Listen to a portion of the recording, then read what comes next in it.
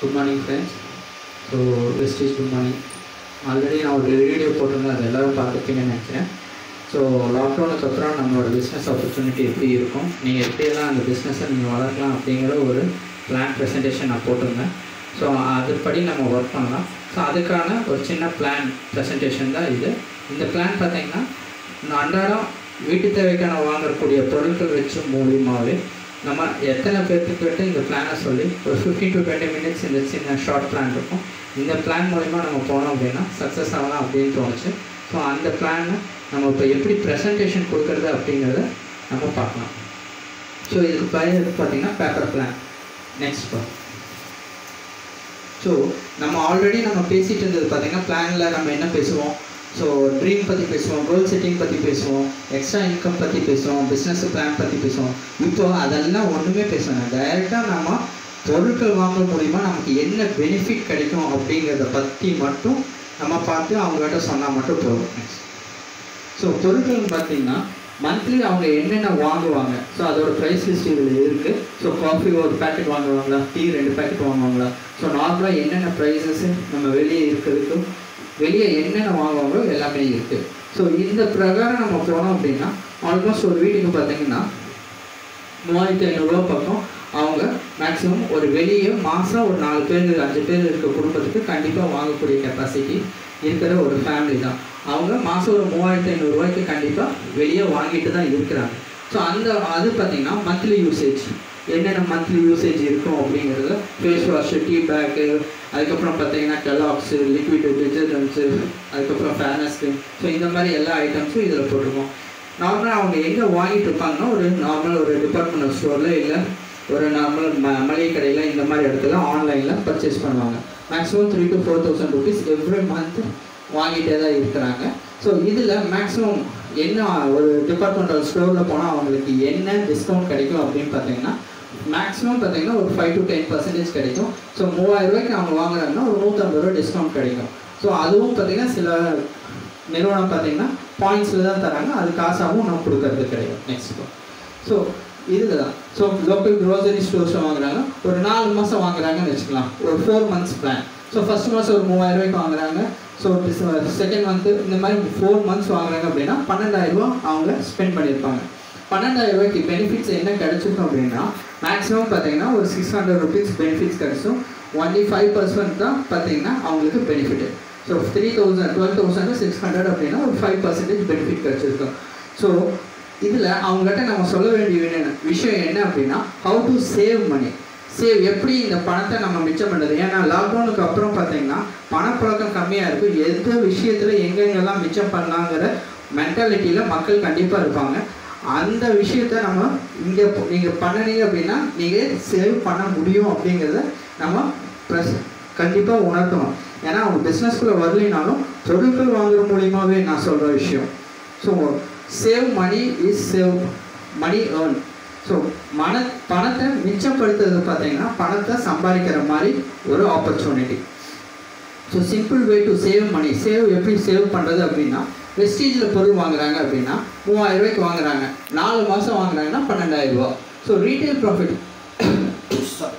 so retail profit பார்த்தீங்க அப்படின்னா maximum minimum ten பர்சன்டேஜ்லேருந்து டுவெண்ட்டி பர்சன்டேஜ் அதாவது ஐநூறுரூவா மூவாயிரம் ரூபாய்க்கு ப்ராடக்ட் வாங்குறாங்க அப்படின்னா ஐநூறுரூவாய்க்கு மிச்சம் மிச்சம் பண்ணலாம் அப்ராக்சிமேட்டாக ஸோ ஐநூறுரூவா அப்படிங்கிறது நாலு மாதம் அவங்க ஐநூறுரூவா மிச்சம் பண்ணுறாங்க அப்படின்னா ரெண்டாயிரரூவா மிச்சம் பண்ண முடியும் நாலு மாதத்தில் தென் ஃப்ரீ ப்ராடக்ட்ஸ் மந்த்லி பார்த்தீங்கன்னா டென் பர்சன்டேஜ் எவ்ரி மந்த் அவங்களுக்கு ஃப்ரீ ப்ராடக்ட்ஸ் கிடைக்கும்.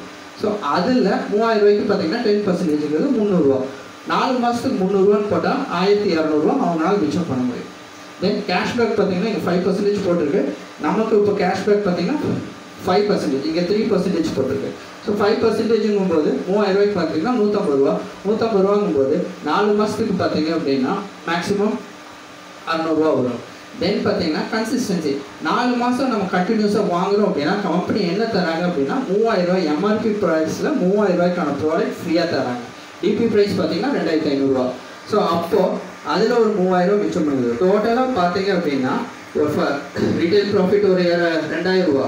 ஸோ மந்த்லி சே ரீட்டை ரீபர்ச்சேஸ் ஆஃபர் பார்த்தீங்கன்னா ஆயிரத்தி இரநூறு மந்த்லி பெனிஃபிட் ஃபைவ் பர்சன்டேஜாக இருந்தாலுமே பார்த்தீங்கன்னா உங்களுக்கு அறநூறுவா வரும். தென் மூவாயிரரூவாய்க்கு ஸோ மூவாயிரம் ரூபா ப்ராடக்ட் ஃப்ரீயாக கிடைக்கும். டோட்டலாக பார்த்தீங்கன்னா ஆறாயிரத்தி அறநூற்றி அறுபது ரூபா பார்த்தீங்கன்னா அவங்களுக்கு பெனிஃபிட் மட்டும். பன்னெண்டாயிரம் ரூபாய்க்கு ப்ராடக்ட் வாங்கும்போது.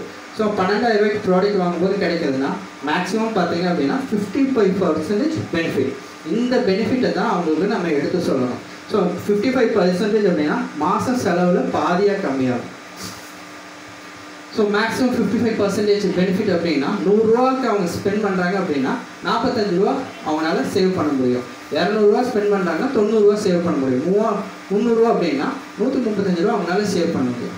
ஸோ இதில் மூணு கொஸ்டின்ஸ் வந்து மக்கள் நம்மகிட்ட கேட்கக்கூடிய கொஸ்டின்ஸ் மூணு கொஸ்டின்ஸ் இருக்கும். அந்த மூணு கொஸ்டின்ஸும் நீங்கள் கரெக்டாக ஆன்சர் பண்ணிட்டீங்க அப்படின்னா உங்களால் அந்த டீலை க்ளோஸ் பண்ண முடியும் அந்த என்ட்ரி எடுக்க முடியும். என்ன விஷயம் அப்படின்னா is product is good enough இந்த குவாலிட்டி ப்ராடக்டோட குவாலிட்டி இருக்கா அப்படின்னு கேட்பாங்க. அந்த குவாலிட்டி ஆஃப் ப்ராடக்ட்ஸை நம்ம டெஸ்ட் பண்ணியும் காட்டலாம். கம்பெனி குவாலிட்டி ஆஃப் ப்ராடக்ட்ஸ் பார்த்தீங்கன்னா எல்லா சர்டிஃபிகேட்ஸும் கம்பெனி வச்சுருக்காங்க ரெண்டாவது விஷயம் பார்த்தீங்கன்னா ப்ரைஸ் குவாலிட்டி கேட்பாங்க தென் ப்ரைஸ் ப்ரைஸ் டூ ஹையா மார்க்கெட்டை விட ஹையா இருக்கா இல்லையா அப்படிங்கிறத கேட்பாங்க. அதையும் நம்ம பின்னாடி பார்க்கலாம். தென் பிஸ்னஸ் இது வாங்க மூலிமா நமக்கு பிஸ்னஸ் ஆப்பர்ச்சுனிட்டி இருக்குது அதையும் பற்றி நம்ம பார்க்கலாம். ஸோ ப்ராடக்ட் ஹையா இல்லையா பார்க்கறதுக்கு ஜஸ்ட் கூகுளில் போயிட்டு இரநூத்தம்பது கிராம் டீ தூள் அப்படின்னு போட்டிங்கன்னா ஆவரேஜாக ஒரு நாலஞ்சு பிராண்டு வரும். ஸோ எல்லா ப்ராண்டும் பார்த்தீங்கன்னா மேக்ஸிமம் என்ன ரேட் வரும் அப்படின்னா ஆவரேஜ் ப்ரைஸ் நூற்றி இருபது ரூபா வரும் கால் கிலோ டீ தூள். ஸோ நம்ம வெஸ்டீஜ் ப்ராடக்ட்டும் பார்த்தீங்கன்னா கால் கிலோ ப்ராடக்ட் எம்ஆர்பி வந்து நூற்றி இருபது ரூபா. ஆனால் நம்ம இந்த ஆஃபரில் நம்ம வாங்கும்போது ஃபிஃப்டி ஃபைவ் பர்சன்ட் டிஸ்கவுண்ட் கிடைக்கிறதுனால கால் கிலோ டீ தூள் பார்த்தீங்கன்னா ஐம்பத்தி நாலு ரூபாய்க்கு கிடைக்கும் கால்குலேஷனில் நெக்ஸ்ட் ஸோ டூத்பேஸ்ட் டூத்பேஸ்ட் ஆவரேஜாக நீங்கள் பார்த்தீங்கன்னா மார்க்கெட்டில் கிடைக்கிறது நூறு கிராம் பேஸ்ட் பார்த்தீங்கன்னா அறுபது ரூபா இருக்கும். ஸோ ஆனால் நம்மளோட ஸ்கீமில் வாங்கும்போது பார்த்தீங்கன்னா முப்பத்தி நாலு ரூபா வரும். எம்ஆர்பி வந்து செவன்ட்டி ஃபைவ் ஆனால் கன்சிஸ்டன்சி ஆஃபரில் வாங்கும்போது பார்த்தீங்கன்னா முப்பத்தி நாலு ரூபா வரும். ஸோ அதே தான் நம்ம சோப்பு சோப்பு வாங்கும்போது பார்த்தீங்கன்னா மேக்ஸிமம் பார்த்தீங்கன்னா முப்பத்தஞ்சு ரூபா வரும். ஆவரேஜ் நம்மளோட சோப்பு பார்த்தீங்கன்னா எம்ஆர்பி நாற்பது ரூபா. ஆனால் இந்த கன்சிஸ்டன்சி ஆஃபர் போது பதினெட்டு ரூபா வரும். தென் பார்த்தீங்கன்னா வாஷிங் பவுடர் நூற்றி ரூ நூற்றி அறுபது ரூபா வரும் எம்ஆர்பி ஆனால் நூ தொண்ணூறுரூவா வரும். நார்மல் ஆவரேஜ் ப்ரைஸ் ஆனால் நம்மளோடது பார்த்தீங்கன்னா எழுபத்தி ரெண்டு ரூபா வரும். நெக்ஸ்ட்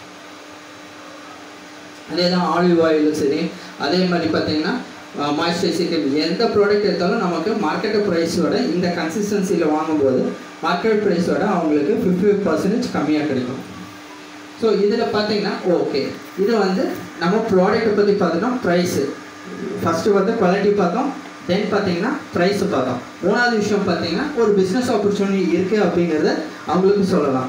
இந்த பிஸ்னஸ் ஆப்பர்ச்சுனிட்டி எடுத்துக்கிறவங்க என்ன நோ இன்வெஸ்ட்மெண்ட் சேர்றதுக்கு பணம் எதுவும் கொடுக்க வேண்டியது கிடையாது.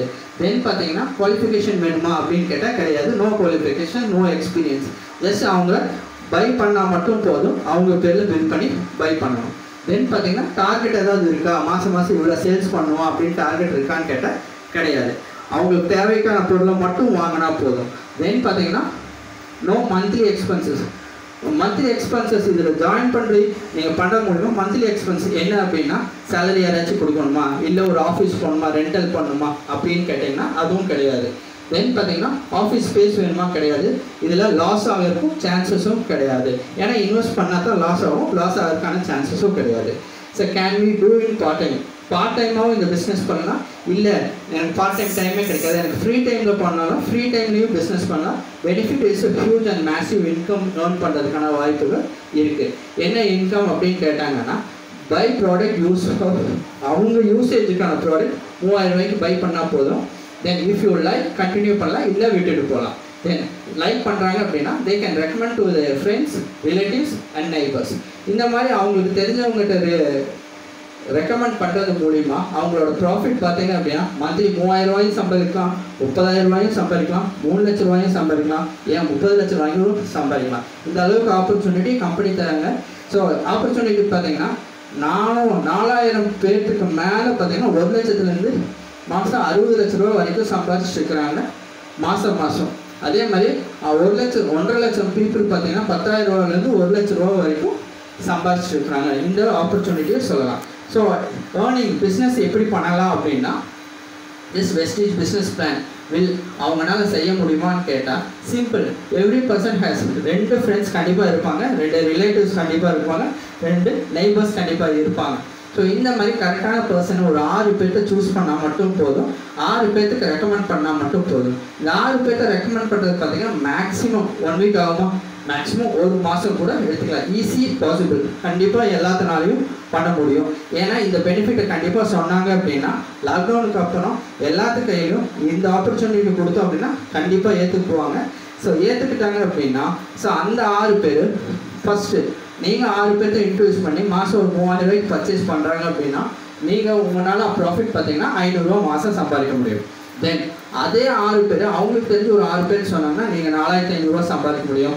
அந்த ஆறு பேர் முப்பத்தாறு பேர் இன்ட்ரடியூஸ் பண்ணுறாங்க அப்படின்னா உங்களுக்கு நாற்பத்தி மூணாயிரம் ரூபா வரும். ஸோ அடுத்த லெவலுக்கு நம்ம போகும்போது மாதம் நாலு லட்ச ரூபா வரும். ஸோ பிளான் ஸோ என்னென்ன இன்கம் இருக்குது அப்படின்னா ஸோ ரீட்டைல் ப்ராஃபிட் பத்து டு இருபது பர்சன்டேஜ் இருக்குது performance bonus five to twenty percentage இருக்குது director bonus fourteen percentage leadership bonus fifteen car fund travel fund house fund இந்த மாதிரி நீங்கள் இந்த ஃபண்ட்ஸையும் சொல்லலாம். உள்ளே வந்ததுக்கப்புறம் அதெல்லாமே தெளிவாக எல்லாருமே தெரிஞ்சுக்கலாம்.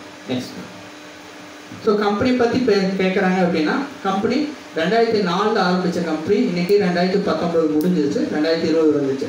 ஸோ இந்த காலகட்டத்தில் கம்பெனியோட வளர்ச்சி எப்படி இருக்குன்னு சொல்லலாம். ஒரு சிம்பிளாக ஒரு அஞ்சு பாயிண்ட்ஸில் ஸ்டார்ட் இன்னும் ரெண்டு ப்ராடக்ட் வச்சு ஆரம்பித்தாங்க இன்றைக்கி முந்நூற்றம்பது ப்ராடக்ட் வச்சுருக்காங்க.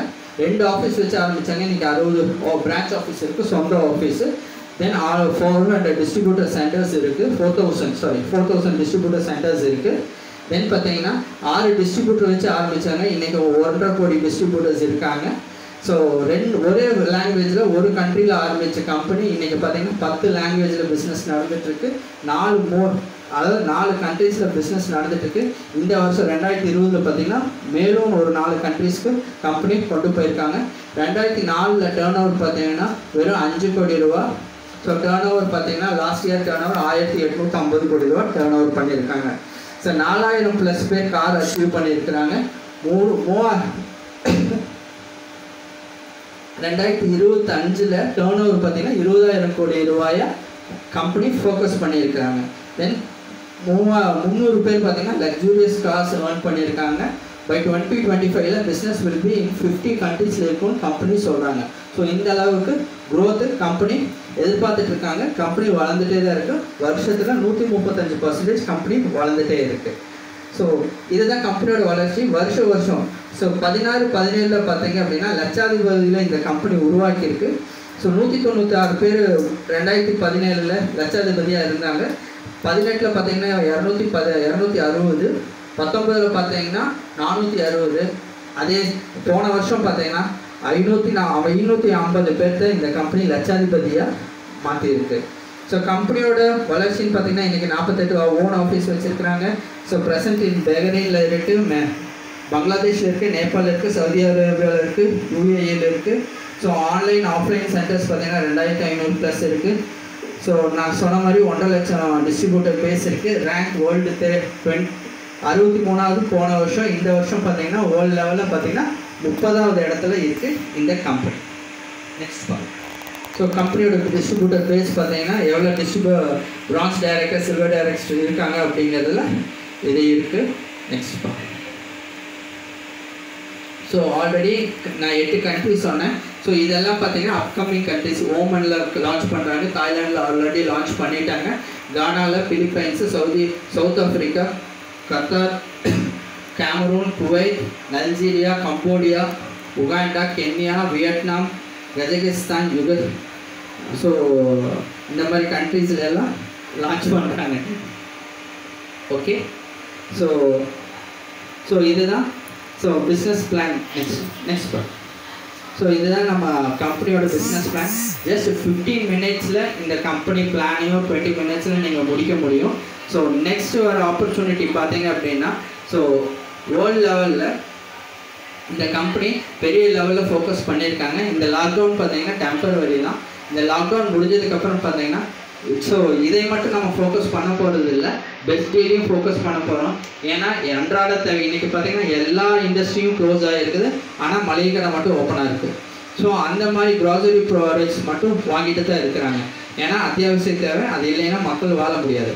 ஸோ அதனால தான் பெஸ்ட் டீல் பெஸ்ட் டீல்ஸ் ஒன்று ஓப்பன் பண்ணியிருக்காங்க கம்பெனி ஸோ அது மூலிமா லாக்டவுன் முடிஞ்சதுக்கப்புறம் எல்லார் வீட்டுக்கும்